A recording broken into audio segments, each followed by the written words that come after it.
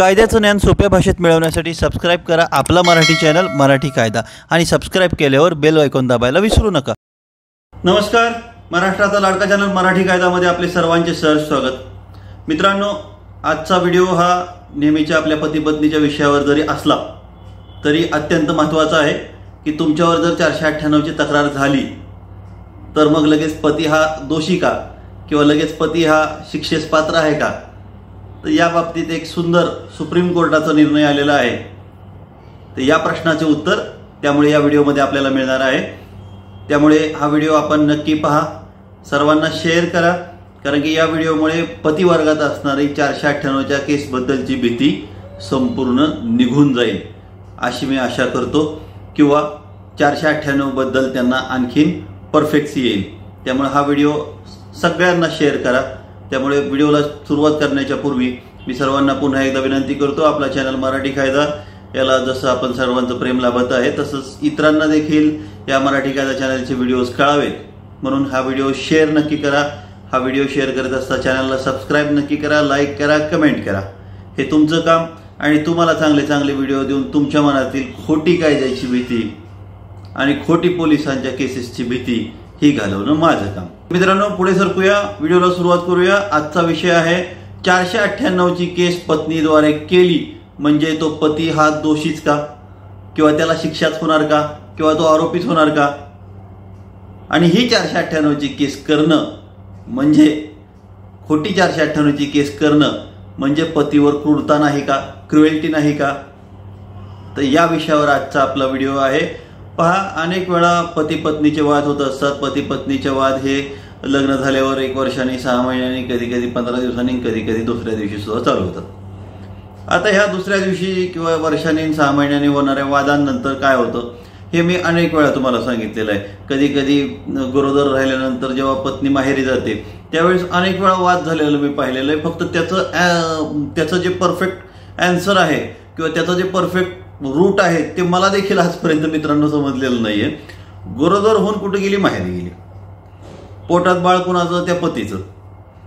म्हणजे चांगलं असता असता तुम्ही गरोदर राहिला नंतर तुम्ही माहेरी गेलाय. मग नंतर भांडणं का होतात?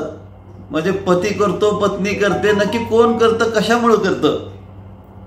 कुठल्याच बाजूला कोणत्याच एका पती किंवा पत्नीला दोष न देता हा माझा क्वेश्चन आहे. की माहेरी गेल्यावर भांडणं होण्याचं काय कारण आहे हे मला कळलं नाही. मग अनेक वेळा त्यामध्ये पतिवर्गाचं माझ्याकडे आलेलं म्हणणं असतं की माहेरच्या लोकांचा जास्त हस्तक्षेप अति हस्तक्षेप किंवा प्रमाणाच्या बाहेरचा हस्तक्षेप. पत्नी कमवते म्हणून तिला तिच्या पगारासाठी तिकडेच ठेवलंय. अति लाड. अशा अनेक गोष्टी असतात. किंवा पत्नी साईडचं असतात की माझ्यावर पतीने लक्ष दिलेलं नाही मला खर्चायला पैसे देत नाही किंवा काय करत नाही मला विचारतच नाही. मला एकटीलाच पाठवून दिली परत लवकर चौकशीलाच आला नाही वगैरे वगैरे. परंतु अशा अनेक वाद आपण पाहिलेले आहेत. की पत्नी गरोदर राहिल्यावर माहेरी गेल्यावर ते वाद उफाळून आले तर नंतर सहा सहा महिने परत वर्षभर येतच नाही मुलाचं तोंडच पाहू देत नाही अशा अनेक वेगवेगळ्या केसेस मी स्वतः डील करीत आहे. मग या अशा अनेक वादानंतर काय होतं सगळ्यात पहिल्यांदा?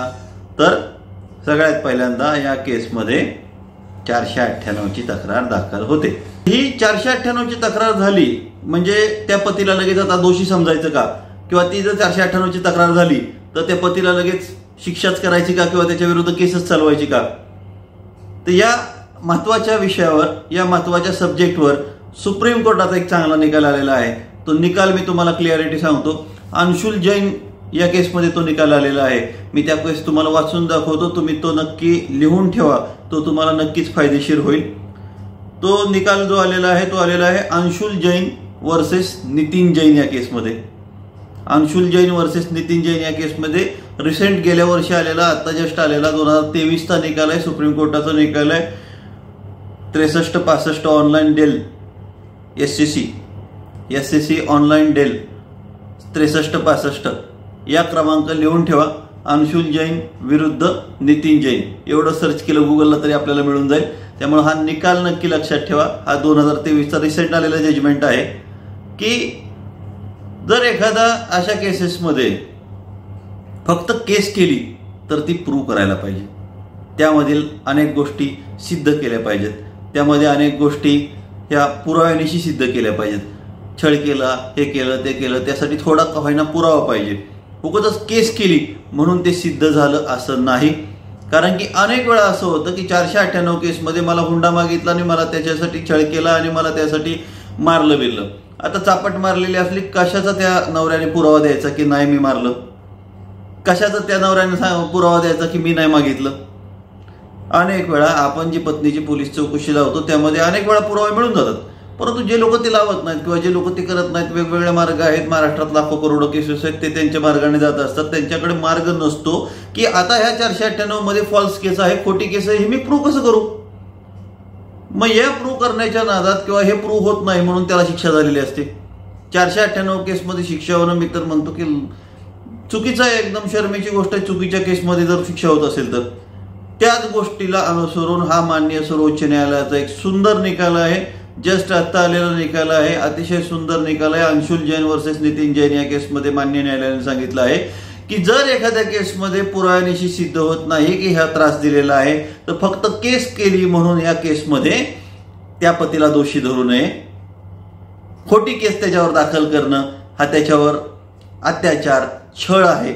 फार मोठा मानसिक छळ आहे त्या पतीवर की त्याच्यावर खोटी केस होणं. आणि म्हणून त्याला घटस्फोट ग्रांट करावा. खोटी केस जर बायकोने केली असेल तर त्याला मिळालेला घटस्फोट हा योग्य आहे किंवा तो पती हा घटस्फोटासाठी पात्र आहे. त्याला घटस्फोट मागायचा अधिकार आहे आणि त्याला तो घटस्फोट मिळालाच पाहिजे.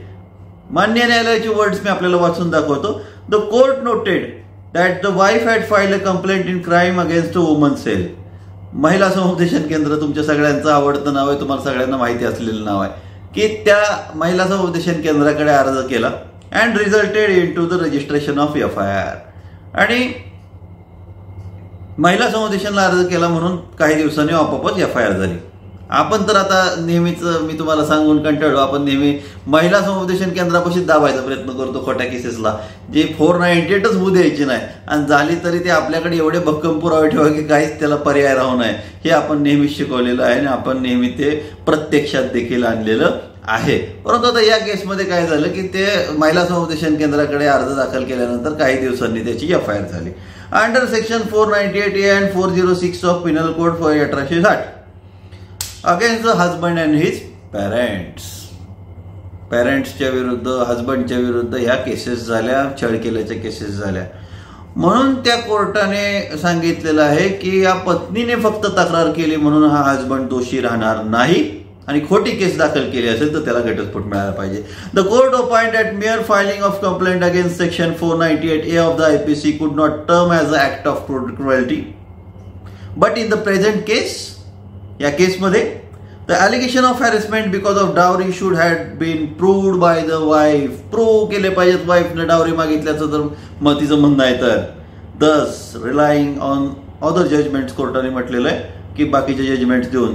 The court opined that making such false and fieldwares allegations which were not even supported by the evidence म्हणजे काही आरोप करायचे काही हे करायचे ज्याला कोणताही आधार नाही ज्याला कोणताही पुरावा नाही लेट टू द कन्क्लुजन आम्हाला या निष्कर्षापाशी यायला भाग पाडलं जातं की the husband was subject to a cruelty म्हणजे त्या हजबंडवर त्या पतीवर खूप छळ झालेला आहे आणि त्याला मानसिक शारीरिक त्रास या केसमुळे झालेला आहे. म्हणून आणि म्हणून ह्या केसमध्ये त्याला घटस्फोट आम्ही देत आहोत.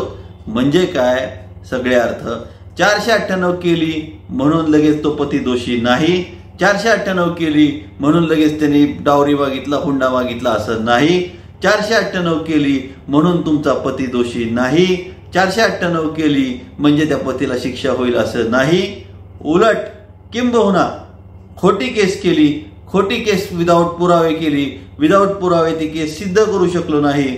पुरावे सिद्ध न करता त्या हजबंडला त्रास झाला. म्हणून त्या हजबंड तो पती हा क्रुएल्टीला भाग पडलेला आहे. म्हणजे त्याच्यावर छळ झालेला आहे. हे आपोआप तिथं सिद्ध होत आहे. म्हणून त्या पतीला मात्र डिवोर्स ग्रांट होत आहे. त्या पतीला घटस्फोटचा पात्र होत आहे आणि घटस्फोट मिळण्यास तो पात्र आहे.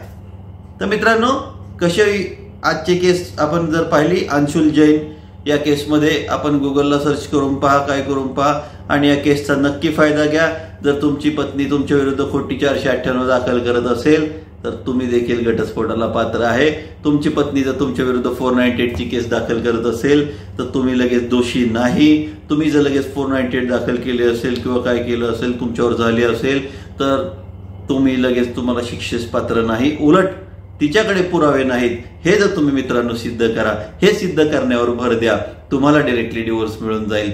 Divorce will be then your right म्हणून चारशे अठ्ठ्याण्णवची केस केली घाबरायचं नाही. अटक होते का? नाही. तर ज्या केसमध्ये अटक होत नाही ज्या केसमध्ये एवढं सिद्ध करावं लागतं हे करावं लागतं ते करावं लागतं गये दिन चारशे अठ्ठ्याण्णवला घाबरायचं. अजिबात घाबरायचं नाही. शांतपणे पोलीस स्टेशनला जायचं म्हणायचं मी काय केलेलंच नाही. मला कशाला बोलवत आहे? हे घ्या काय लिहायचं ते लिहून देतो माझं म्हणणं देतो. चला ठीक आहे अटकचा अधिकार पोलिसांना नाही. तर मित्रांनो चारशे अठ्ठ्याण्णव. Bye bye. भीतीला तुमच्या. Bye bye. जर खोटी चारशे अठ्ठ्याण्णव असेल तर डिवोर्सला तुम्ही आहे पात्र. तर मित्रांनो पुढच्या व्हिडिओमध्ये आपण नक्कीच भेटूया लवकर भेटूया. त्या व्हिडिओपर्यंत मला आपली रजा द्या. आपली कमेंट आणि लाईक करून या व्हिडिओला नक्कीच चांगला असेल तर मला कळवा. कमेंट्समध्ये तुमचे काही प्रश्न असतील तर ते कळवा. आपण सगळ्या तुमच्या प्रश्नांचे चांगल्या चांगल्या प्रश्नांचं उत्तर देऊ. थँक्यू लवकरच भेटू. जय हिंद. जय महाराष्ट्र.